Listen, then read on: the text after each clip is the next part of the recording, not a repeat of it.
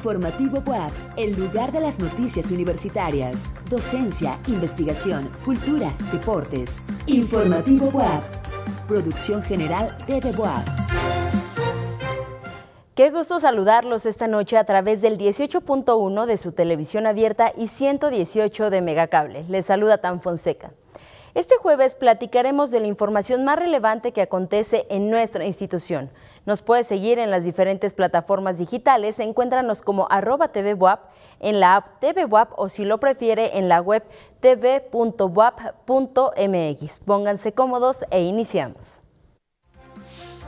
Vincula BUAP a los estudiantes con el sector empresarial. Realizan primer Lobo Rally por la salud mental. El recorrido inmersivo Arte Oculto nos presenta un panorama sobre enfermedades mentales. Continúa con nosotros en Informativo BUAP.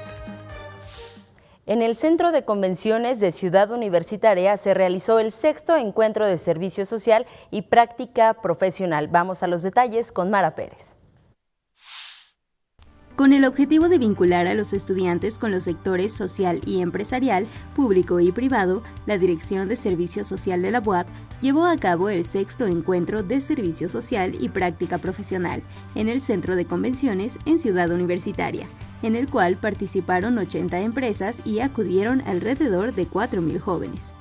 Al inaugurar este encuentro, el vicerrector de Investigación y Estudios de Posgrado, Ignacio Martínez Laguna, refirió que este espacio es la punta de lanza para la empleabilidad, porque además de desarrollar competencias blandas que complementen su formación profesional, es una oportunidad para insertarse en el ámbito laboral. Aquí nace precisamente ese potencial, eso que los muchachos, las chicas están exponiendo precisamente en el campo profesional. A nosotros nos toca la firme responsabilidad de prepararlos para ese futuro. Y la razón de todo esto es precisamente ustedes, queridas y queridos estudiantes, que son nuestra razón de ser. Nos congratulamos en la institución por un evento como este y que sea precisamente para beneficio de todas y todos. Verónica Arroyo Ronquillo, directora de Servicio Social, refirió que en este encuentro, cuyo eslogan es Espacios de Interacción para construir vinculación a tu vida profesional, más de 6.000 jóvenes próximos a iniciar con este requisito académico tendrán la oportunidad de conocer la oferta de más de 80 empresas, poner en práctica sus conocimientos adquiridos en un contexto real y saber cuáles son las competencias que requerirán para incursionar en el ámbito laboral. Con información de Elizabeth Juárez para Informativo WAP, Mara Jimena Pérez. La rectora María Lilia Cedillo Ramírez inauguró el primer Lobo Rally por la salud mental, donde subrayó la importancia de solicitar apoyo emocional en estados de estrés, ansiedad o depresión. Vamos a la información. Al inaugurar el primer Lobo Rally por la salud mental, la rectora María Lilia Cedillo Ramírez subrayó la importancia de buscar ayuda cuando no existe bienestar emocional y se vive en estados de ansiedad, estrés o depresión. Ante ello, recordó que la UAP, a través de áreas como el Centro de Psicología Integral, brinda servicios de atención a la comunidad universitaria. Qué bueno que este Lobo Rally los va a hacer conscientes, como dijo la maestra Maru, de la importancia que tiene que nos tratemos cuando estemos pasando por un estado de los que ya mencionamos. Eh, desafortunadamente la pandemia puso más de manifiesto estas enfermedades y ahora pues es el momento de que nosotros si necesitamos ayuda la busquemos. Nuestro estado desafortunadamente es uno de los que tiene mayores casos de depresión, de angustia. En este primer Lobo Rally por la Salud Mental, organizado por el Centro de Psicología Integral y la Dirección de Deporte y Cultura Física, en el marco del Día Mundial de la Salud Mental, se realizaron actividades físicas que contribuyen al bienestar psicológico pero también de conocimiento sobre el manejo del estrés, la inteligencia emocional, asertividad, resiliencia y relaciones saludables de pareja. En esta actividad participaron al menos 100 alumnos de las facultades de Ingeniería Química, Ciencias de la Computación, Ciencias Políticas y Sociales, Arquitectura, Derecho, Ciencias Físico-Matemáticas, Administración e Ingeniería. Con información de Dalia Patiño, para Informativo BUAP, Mara Jimena Pérez. La Facultad de Medicina de la UAP, en colaboración con el Centro Estatal de Transfusión Sanguínea de la Secretaría de Salud del Estado de Puebla, invita a toda la comunidad universitaria a participar en la colecta de donación altruista de sangre. La colecta se llevará a cabo el jueves 24 de octubre en un horario de 8.30 a 12 horas en el auditorio Julio Glockner. Recuerda que donar sangre es donar esperanza. Para conocer los requisitos para ser donador puedes consultar el enlace bsu.wap.mx. Nuestro compañero José Telachi asistió a las quintas jornadas de ciencia abierta en donde se platicó sobre los alcances y ventajas que puede aportar el uso de la inteligencia artificial en la academia e investigación, los cuales son fundamentales para el quehacer universitario. Vamos a los detalles de este encuentro. Durante las quintas jornadas de ciencia abierta, expertos en el área hablaron acerca del presente y futuro de la inteligencia artificial en la educación y en la investigación. El objetivo de esta actividad es explorar cómo la integración de la inteligencia artificial y los principios de la ciencia abierta pueden impulsar la innovación, fomentar la colaboración global y democratizar el acceso al conocimiento científico, promoviendo así un futuro más inclusivo y sostenible para la sociedad. Este encuentro pues tiene la, oportunidad de reunir a los grandes expertos a nivel nacional, a nivel universidad, para que nos hablen sobre la inteligencia artificial y la ciencia abierta, sus repercusiones, cómo lo abordamos en el ámbito educativo, cómo lo abordamos en el ámbito bibliotecario. Uno de los principales valores es el compartir la información y compartir los avances tecnológicos y sus aplicaciones. Como un dato, en el área de la física de altas energías, los eh, análisis que se realizan para precisamente para mm, ver el comportamiento de las variables físicas que eh, describen el, comportamiento de los eventos de colisión, por ejemplo, en el Gran Colisionador de Hadrones, en el Centro de Investigación de Investigaciones Nucleares, eh, ahí en el CERN, que está en Ginebra, Suiza, es una herramienta fundamental para encontrar los nuevos descubrimientos de la, de la ciencia. La inteligencia, la inteligencia artificial está hoy en día en todas las áreas del conocimiento. Durante estas jornadas, el doctor Alfonso Díaz Furlong, director de admisiones y seguimiento académico de la Vicerrectoría de Docencia de la UAP, impartió la conferencia La investigación y la educación en la era de la inteligencia artificial. ¿Qué debemos hacer las universidades? Si nosotros juntamos la inteligencia artificial con la inteligencia humana, lo que nos va a dar es un bienestar académico. Solamente si nosotros utilizamos nuestra inteligencia humana, por eso esa es, la parte más difícil de GPT. Realmente la inteligencia humana es la más complicada. Por su parte, el maestro Germán Díaz Hernández, director de innovación de ESIRE, impartió la masterclass Papel de la ciencia abierta frente a la inteligencia artificial, modelos de código abierto. De acuerdo a los estudios de la UNESCO, el 60% de los empleos que van a tener los alumnos que acaban de ingresar este año en cualquier universidad aún no se han creado. Es decir, todavía no existen va a haber una revolución de empleos, una revolución de nuestro mundo tal y como lo conocemos. Por eso resulta importante y urgente que tengamos este tipo de conversaciones para poder adaptarnos y prepararnos ante un futuro que está en constante evolución. A mí me gusta decir que siempre estamos viviendo una película en la cual el guion se escribe día a día. El, ritmo al cual la inteligencia artificial generativa nos está obligando a avanzar y estar actualizados es algo que no, no tiene precedente alguno. Retos de inteligencia artificial fue el nombre del panel de discusión que de igual manera se realizó en estas jornadas que fueron inauguradas por el doctor Emilio Soto García, director de Educación Superior, en representación de la rectora Lidia Cedillo Ramírez. Es crucial destacar el impacto positivo de la ciencia abierta y, y obviamente de la IA a través de investigadores basados en la información de datos que han logrado avances significativos en la solución de estos problemas y el impacto en la sociedad que podemos llevar de la mano. La inteligencia artificial puede ser una gran aliada de docentes y estudiantes, por lo tanto es muy importante saber utilizarla de forma correcta para así sacarle el máximo provecho. En cámara Jesús Ramírez, para Informativo WAP, José Tlachi. A usted que nos ve y le gusta el café, le pregunto, ¿cuántas tazas toma al día? ¿Sabía que esto puede estar afectando sus horas de sueño y descanso? Vamos a la información con nuestra compañera Paola Mora.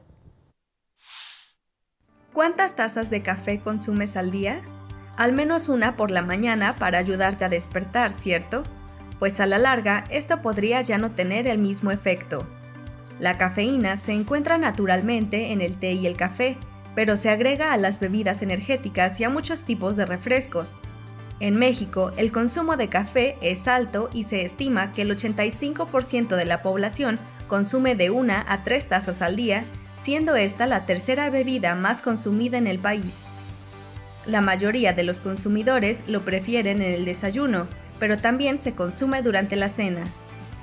La adenosina es un químico cerebral que regula la somnolencia, cuando estás cansado, la adenosina se acumula en el cerebro y se une a proteínas en las células cerebrales llamadas receptores de adenosina, lo que produce somnolencia. La cafeína impide que la adenosina actúe sobre las células cerebrales. Esto evita que te dé sueño. Si se consume cafeína con regularidad, el cuerpo produce más adenosina. Entonces las personas necesitan más cafeína con el tiempo para tener la misma sensación de estar despiertas. La adenosina también hace que sea desagradable dejar la cafeína de forma repentina, pues puede causar sensaciones propias de la abstinencia por un tiempo. Estas sensaciones incluyen dolor de cabeza y mayor somnolencia. La cafeína también interactúa con otras sustancias químicas en el cerebro, lo que puede acelerar el corazón, traer sensación de ansiedad o malestar del estómago. Para Informativo WAP, Paola Mora. Atención estudiantes, la Dirección de Administración Escolar busca monitores para apoyar en la próxima entrega de credenciales institucionales. Si eres estudiante y aún no has participado en ningún proceso como monitor o monitora DAE, esta es tu oportunidad. Para mayor información puedes consultar las redes sociales de la DAE BOAP. La Escuela de Artes Plásticas y Audiovisuales de la UAP invita a la comunidad a participar en el taller Explorando la Cerámica, de la arcilla a la obra, impartido por Lourdes Alarcón. Este taller se llevará a cabo los días 22 y 29 de noviembre de 14 a 18 horas. Si te interesa aprender más sobre la creación de piezas en cerámica, consulta la publicación en el Facebook de ARPA para conocer las cuotas de recuperación y no dudes en inscribirte a través del correo educacioncontinua.arpa.correo.wap.mx. Este jueves, en la colaboración de la Dirección Institucional de Igualdad de Género, nos acompaña su titular, la doctora María del Carmen García Aguilar, quien nos presenta una reflexión acerca del Día Mundial de la Salud Mental. Bienvenida, doctora. Muy buenas noches. Buenas noches, Tan. Hoy es el Día Mundial de la Salud Mental y la OMS propone el tema de este año, el cual dice, es tiempo de priorizar la salud mental en el lugar de trabajo. Este día tiene como objetivo el de crear conciencia sobre los problemas de salud mental en todo el mundo y movilizar esfuerzos en apoyo a la salud mental. El Instituto Mexicano del Seguro Social define salud mental como el estado de equilibrio entre las personas y el entorno sociocultural que les rodea. Incluye el bienestar emocional, psíquico y social, que influye en cómo piensa, siente, actúa y reacciona una persona ante momentos de estrés. La salud mental es la base para el bienestar y funcionamiento efectivo de una persona y su comunidad. No obstante, las condiciones insalubres como el estigma, la discriminación y la exposición a riesgos como el acoso pueden plantear riesgos importantes que afectan la salud mental, la calidad de vida y en consecuencia la participación en el trabajo. Esto mismo aplica para el acoso y la violencia de género en los entornos laborales, la cual significa un obstáculo para el desarrollo de las mujeres y las diferencias sexogenéricas. Todas las personas que nos encontramos en comunidades laborales tendríamos que garantizar la salud mental. El acoso provoca desde fricciones hasta tener objetivos muy precisos como causar daño psicológico y físico a la víctima, porque se trata de un proceso de destrucción. Hans Lehmann define el acoso laboral como aquella situación en la que una persona ejerce una violencia psicológica extrema de forma sistemática con la finalidad de destruir las redes de comunicación de la víctima o víctimas, su reputación, perturbar el ejercicio de sus labores y lograr que finalmente las víctimas acaben abandonando el lugar de trabajo. También necesitamos aprender a identificar los signos de problemas comunes de salud mental, como el cansancio derivado del trabajo excesivo, la depresión o ideación suicida, o nuestro papel es alentar a las personas y a buscar ayuda. En caso de necesitar apoyo emocional, la comunidad WAP puede, pueden comunicarse a la Dirección Institucional de Igualdad de Género, extensión 4771, y al Centro de Psicología Integral, extensión 4501. También para estudiantes, la universidad cuenta con la línea de atención en crisis emocional de la Dirección de Acompañamiento Universitario. Para ello, pueden llamar al número 22 23 44 89 05 y al público en general se les recomienda llamar a la línea de vida al 800-911-2000. Por una universidad que favorezca la salud mental, nos vemos la siguiente semana. Buenas noches. Muchas gracias, maestra, por su reflexión y con todo gusto la vemos la próxima semana. Informativo Boab, Cultura. Llegó el momento cultural con nuestro periodista Carlos Maceda, quien hoy nos presenta información e invitaciones de su interés. Adelante, estimado Carlos, te escuchamos. ¿Te has preguntado qué ven o cómo viven las personas que padecen algún trastorno de la mente? Abraham Galam nos presenta Arte Oculto, una mirada introspectiva sobre la salud mental. Es una experiencia inmersiva por más de siete cuartos en los cuales te vamos contando cómo están viviendo estas personas con estos trastornos y enfermedades, poco a poco el avance de su enfermedad, el deterioro y de todo eso va tratando la experiencia. Temas como la esquizofrenia, trastorno obsesivo compulsivo, trastorno de identidad disociativo o trastorno depresivo son algunos de los temas que se presentan en este recorrido. Es una experiencia que te va a crear conciencia, eso es lo primero que se les dice, una mirada introspectiva sobre la salud mental. ¿A qué va una mirada introspectiva? A ver adentro de ti, hacia ti, a lo que estás haciendo mal o a lo que puedes llegar a, pasar si no, si no estás consciente de lo que estás viviendo en el aquí y en el ahora. Cada una de las siete salas ha sido intervenida con obra y elementos que nos dan una idea de lo que ve quien padece alguno de estos problemas de salud. Los problemas siempre van a estar y lo van a ver en los cuartos que están este, intervenidos y todo, pero depende mucho de uno si te clavas, si te encierras y te enfrascas en los pensamientos negativos, porque esos son muchos deterioros para la salud.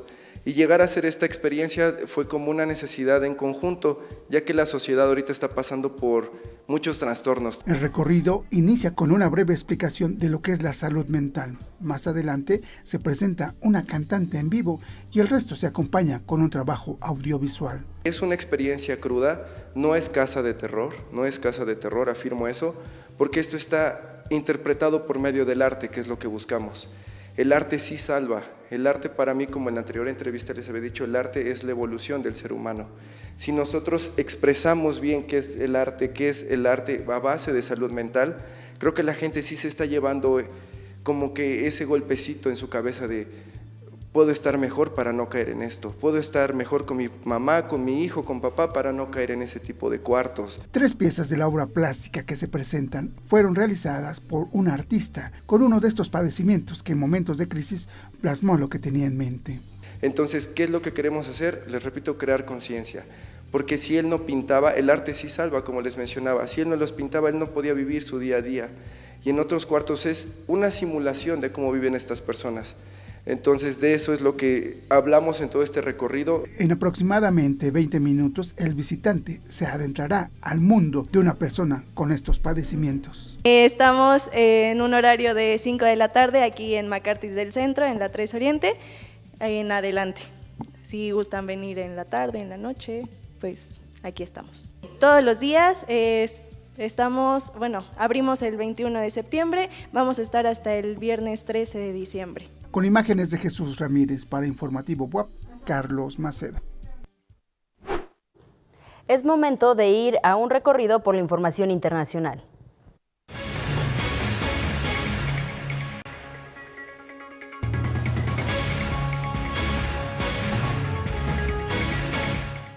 El huracán Milton tocó tierra el miércoles en la costa oeste de Florida como un ciclón de categoría 3, antes de degradarse a categoría 1 y cruzar la península en dirección este, causando fuertes inundaciones y vientos peligrosos. A su llegada, Milton trajo ráfagas de hasta 200 kilómetros por hora y las autoridades han confirmado la muerte de cuatro personas en el condado de St. Lucie debido a tornados generados por el huracán. Actualmente, Milton se encuentra en el Océano Atlántico. Los gobiernos de Colombia y China han formado un grupo de trabajo para negociar la adhesión del país latinoamericano a la iniciativa de las nuevas rutas de la seda del gigante asiático que pretende generar una red comercial internacional y extender su influencia a nivel global a través de la construcción de infraestructuras. Por otra parte, el jefe de la diplomacia colombiana, Luis Gilberto Murillo, precisó que su país no busca ayuda, sino colaborar y sostuvo que el desarrollo de Colombia y Latinoamérica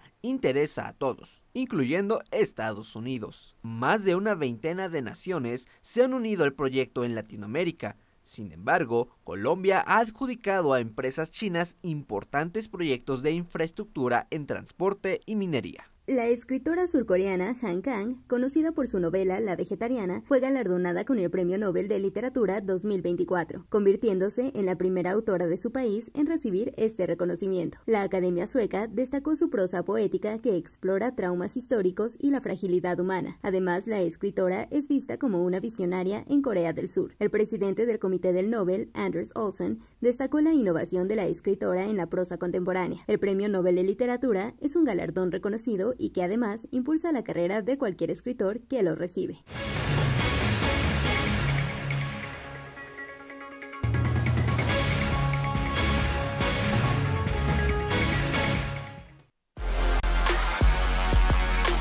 Informativo Deportes. Este jueves en los deportes, Dani Silva nos platica sobre el curso intensivo de natación, el Trail Bosque de Niebla que se realizará en Teciutlán y la Copa WAP de Taekwondo 2024. Buenas noches, cuéntanos todo, Dani. Hola, tan buenas noches y un gusto estar nuevamente contigo y con nuestra audiencia. Participa en el curso intensivo de natación dirigido a la comunidad WAP y público en general mayores de 16 años del 16 de octubre al 13 de noviembre. Cuota única de mil pesos. Horario elegir a partir de las 8 a.m. Consulta la convocatoria en www.didecufi.wap.mx. En nuestra nota de hoy, el Trail Bosque celebrará su tercera edición el próximo 17 de noviembre en Teciutlán. La carrera contará con tres distancias, 8, 13 y 39 kilómetros con salida en el Zócalo. Este evento ofrece una experiencia única en la naturaleza, además de que los participantes disfrutarán de varios beneficios como bienvenida, playera y medalla conmemorativa, seguridad y atención médica, zona de masajes para la recuperación post carrera y mucho más. Conozcamos todos los detalles en la siguiente nota.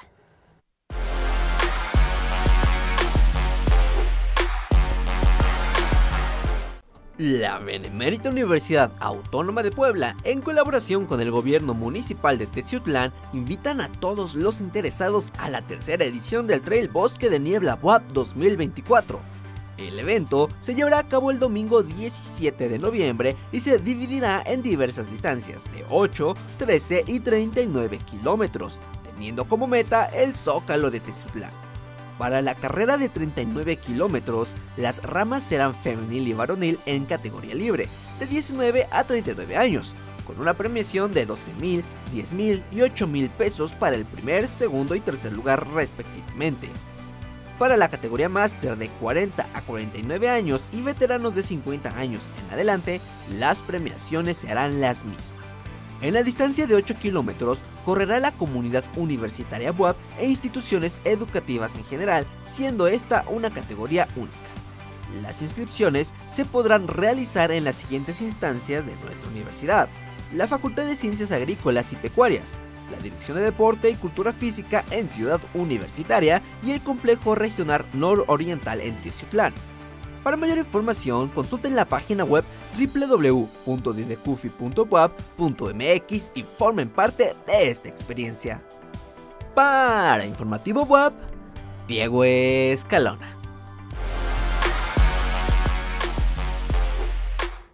Y ya para ir terminando con la sección de este jueves, les recordamos que ya se acerca la Copa WAP de Taekwondo 2024, que tendrá lugar en la Arena Ignacio Manuel Altamirano, ubicada en CEU. Reunirá atletas universitarios de diferentes partes de la República. Apoyemos a nuestros lobos. Muy buenas noches a todos y regresamos contigo, Tan. Buenas noches también para ti, mi querida Dani. Y vamos a cambiar de tema y quiero platicarles de Elefante. Uno de los renombrados grupos de rock mexicanos se presenta en Puebla y conversaron con TV WAP sobre su actuación. Vamos a la nota.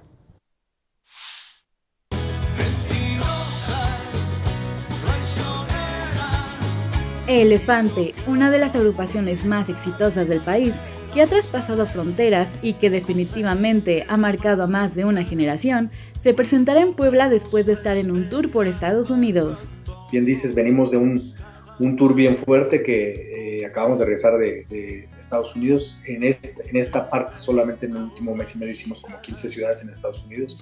Este, terminamos la parte de Estados Unidos el 15 de septiembre en Las Vegas. En, en, fuimos a Canadá a hacer cinco ciudades. Hicimos Montreal, Calgary, eh, eh, Quebec, Toronto, Toronto y Vancouver.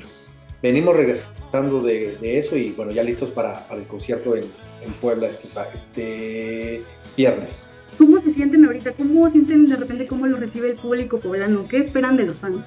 Puebla es un, un, consentido de elefante, tenemos muchísimos, muchísimos amigos en Puebla, hemos tocado en todo el estado durante años y nos va increíble. Estamos ansiosos de verdad ya porque llega el viernes eh, en el Auditorio Metropolitano a las 9 de la noche para ver a todos los fans, a toda la gente que, que gusta del elefante. Les aseguramos que bueno, va a ser una fiesta muy bonita. Cuando vienen, ¿qué, ¿qué es lo que primero que hacen? ¿Qué es lo primero que hace Javi y Ice cuando vienen a Puebla? Bueno, en mi caso, generalmente llegamos, llegamos al hotel, nos acomodamos un poquitito. Si hay tiempo entre la llegada y, el, y la prueba de sonido, eh, lo primero que hacemos es buscar dónde comer algo rico, porque en Puebla se come increíble. Es más, antes de llegar a Puebla ya comimos de camino, paramos en la carretera siempre en un lugar que nos gusta mucho a, a, comer nuestras, nuestras quesadillas. Así que eso es lo primero. Lo primero, comer un mole rico con pollito o algo, algo así. Y después, bueno, pues ya, ya sigue la prueba de sonido, descansar un poquito y concentrarnos para el concierto. También igual, o sea, no, no puede faltar este, llegar a, a, buscar un lugar rico para comer que tienen un montón ahí, ahí, en, ahí en Puebla y una gastronomía increíble y, y siempre es este, ir ahí al, al, a ir conociendo nuevos lugares y, y, y prepararnos para. Por último, invitaron al público poblano a no perderse de este gran show. Los esperamos este, este viernes en el, en el Auditorio Metropolitano, ahí en Puebla, con todo el repertorio de Elefante, canciones como Así es la vida, Sabor a chocolate, Durmiendo con la luna, Mentirosa, todo el repertorio de Elefante, los esperamos por ahí. Seguramente te has preguntado por qué algunas personas tienen sus dedos pulgares pequeños. Conozcamos las causas de esta condición en la siguiente nota de Mariana Meneses.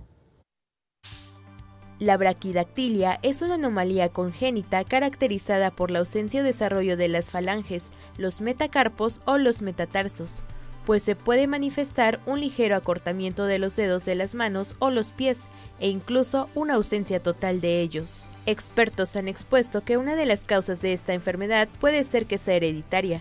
Además han catalogado a la braquidactilia en diferentes tipos, los cuales son inusuales a excepción de los tipos A3 y D, pues el A3 consiste en el acortamiento de la falange media del quinto dedo, con una inclinación radial de la superficie articular interfalángica distal. Por otro lado, la braquidactilia D consiste en que la falange distal del primer dedo de la mano sea la única afectada, con diferentes grados de acortamiento. La afectación puede ser lateral o bilateral. Aunque la braquidactilia se pueda ver a simple vista, el diagnóstico puede ser clínico, radiológico y antropométrico.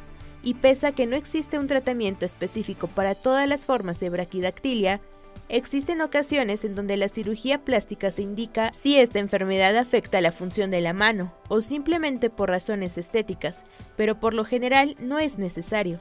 Por otro lado, también existe la hipoplasia del dedo pulgar, la cual consiste en que el dedo es más pequeño de lo normal. Asimismo, cuando hablamos de aplasia, nos referimos a la ausencia total del dedo pulgar que a menudo ocurre en niños, con diferencia radial y longitudinal. Para Informativo BOAP, Mariana Meneses. Es así como llegamos al final de este espacio informativo WAP. Gracias a todo nuestro equipo de noticias y producción. Mañana los espera mi compañero Enrique Moctezuma Malacara en punto de las 8 de la noche. Yo soy Tan Fonseca y recuerden, todos somos lobos.